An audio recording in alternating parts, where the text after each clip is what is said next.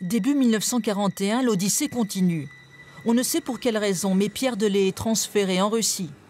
C'est aussi le cas d'autres détenus français en Lituanie annexée, mais pour l'instant, ils sont tous isolés.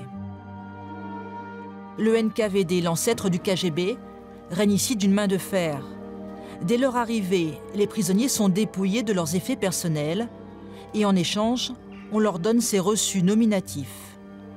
De vulgaires morceaux de papier sans valeur, mais c'est l'une des rares traces accessibles de leur passage dans ces lieux. L'hiver est sordide. Les semaines se succèdent et pas le moindre espoir de libération. Les interrogatoires font place aux interrogatoires. L'éloignement mine le moral. Pierre Delay, le taciturne, le solitaire, souffre de l'isolement.